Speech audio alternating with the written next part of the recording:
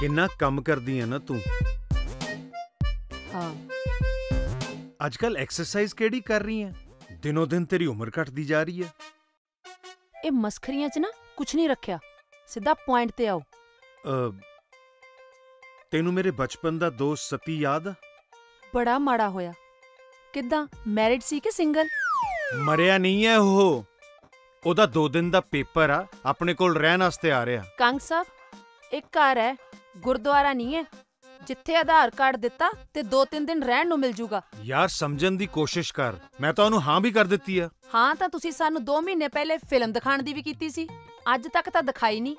ਨਾਲੇ ਐਦਾਂ ਕਿੱਦਾਂ ਹਾਂ ਕਰਤੀ? ਤੂੰ ਤਾਂ ਐਦਾਂ ਰੌਲਾ ਪਾ ਰਹੀ ਹੈ ਜਿਵੇਂ ਮੇਰਾ ਦੋਸਤ ਘਰ ਰਹਿਣ ਨਹੀਂ ਘਰ ਢਾਉਣ ਆ ਰਿਹਾ। ਕਿੰਨਾ ਗੰਦ ਪਾਉਂਦੇ ਆ ਤੁਹਾਡੇ ਪਿੰਡੂ ਦੋਸਤ। दारू ਪੀ ਪੀ ਕੇ ਸਿੱਧਾ ਟੇਬਲ ਤੋਂ ਹੀ ਬੁਰਕੀਆਂ ਲਾ ਲਾ ਕੇ ਰੋਟੀ ਖਾਈ ਜਾਂਦੇ ਆ। ਕਿੰਨਾ ਹੰਗਾਮਾ ਕਰਦੇ ਆ ਨਾ।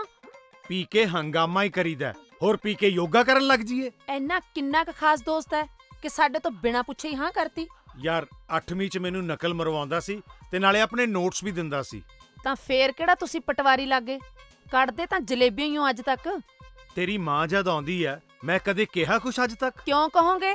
ਉਹਨਾਂ ਨੇ ਆਪਣੀ ਧੀ ਦਿੱਤੀ ਹੈ। ਦੁਸ਼ਮਣ ਥੋੜੀ ਆ ਉਹ। ਮੇਰੀ ਤਾਂ ਦੁਸ਼ਮਣ ਹੀ ਆ ਜਿਹੜੀ ਐਦਾਂ ਦੀ ਧੀ ਦਿੱਤੀ ਆ। ਇੱਕ ਮਾਂ ਆਪਣੀ ਧੀ ਕੋਲ ਤਾਂ ਆਊਗੀ ਨਾ। ਘੱਟੋ ਘੱਟ ਤੁਹਾਡੇ ਦੋਸਤਾਂ ਜਿਵੇਂ ਸ਼ਰਾਬ ਤਾਂ ਨਹੀਂ ਪੀਂਦੀ? ਤੇਰੀ ਮਾਂ ਤਾਂ ਸੋਫੀ ਨਹੀਂ ਮਾਨ ਕਿਸੇ ਨੂੰ। ਨਾਲੇ ਜਿਹਦੇ ਮੂੰਹ ਨੂੰ ਖੂਨ ਲੱਗਿਆ ਹੋਏ ਉਹਦੇ ਲਈ ਸ਼ਰਾਬ ਕੀ ਚੀਜ਼ ਆ? ਕਿੰਨਾ ਗਲਤ ਬੋਲਦੇ ਹੋ ਮੇਰੀ ਮਾਂ ਨੂੰ। ਪਿਆਰ ਮੁਹੱਬਤ ਹੈ ਤਦੇ ਤਾਂ ਇੱਥੇ ਆਂਦੇ ਨੇ ਨਾ। ਪਿਆਰ ਮੁਹੱਬਤ ਤਾਂ ਰੱਬ ਨਾਲ ਵੀ ਬਹੁਤ ਹੈ ਉਹਨੂੰ। ਉੱਥੇ ਕਿਉਂ ਨਹੀਂ ਚਲੀ ਜਾਂਦੀ? ਖਬਰਦਾਰ ਜੇ ਮੇਰੀ ਮਾਂ ਬਾਰੇ ਕੁਝ ਗਲਤ ਬੋਲੇ ਤਾਂ। ਕੀ ਵਿਗਾੜਿਆ ਉਹਨੇ ਤੁਹਾਡਾ? ਕੀ ਹੋਇਆ ਜੇ ਮਹੀਨਾ ਡੇਢ ਮਹੀਨਾ ਰਹਿਣ ਆ ਜਾਂਦੇ ਆ ਤਾਂ? ਮਹੀਨੇ ਡੇਢ ਮਹੀਨੇ ਲਈ ਰਹਿਣ ਸਾਲ ਚਾਵੇ ਨਾ। 2 ਮਹੀਨੇ ਚ ਮਹੀਨੇ, ਡੇਢ ਮਹੀਨੇ ਲਈ ਰਹਿਣ ਕੌਣ ਆਉਂਦਾ? ਇੱਕ ਗੱਲ ਮੇਰੀ ਕੰਨ ਖੋਲ ਕੇ ਸੁਣ ਲੈ। ਜੇ ਤੇਰੀ ਮਾਂ ਇਸ ਘਰ ਚ ਆ ਕੇ ਰਹਿੰਦੀ ਹੈ ਨਾ, ਤਾਂ ਮੇਰੇ ਦੋਸਤ ਵੀ ਆ ਕੇ ਰਹਿਣਗੇ। ਹਾਂ।